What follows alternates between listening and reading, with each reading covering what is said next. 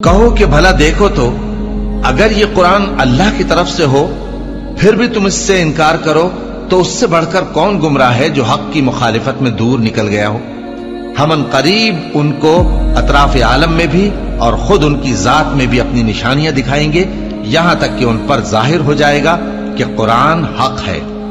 क्या तुमको यह काफ़ी नहीं कि तुम्हारा परवरदिगार हर चीज़ से खबरदार है? देखो ये अपने परवरदिगार के रूबरू हाजिर होने से शक में हैं। सुन रखो कि वो हर चीज़ का इहाता किए हुए है।